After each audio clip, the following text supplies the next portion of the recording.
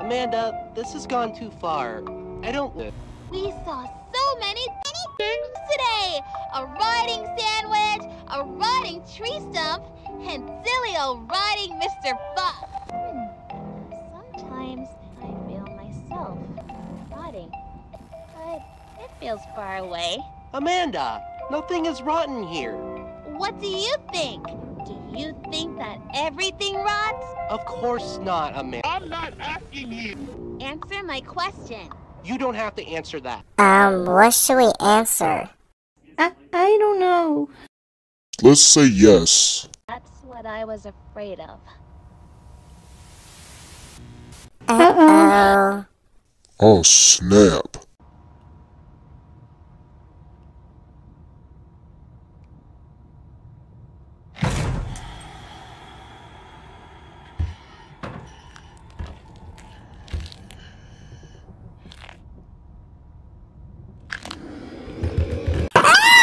Oh my god!